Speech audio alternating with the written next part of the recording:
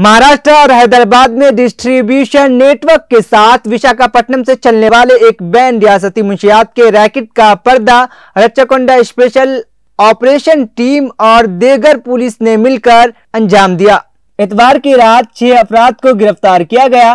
Police ने 360 kilogram church और तीन कारें जब्त की, जिनकी मालियात एक अशारिया दो करोड़ रुपए बताई गई है।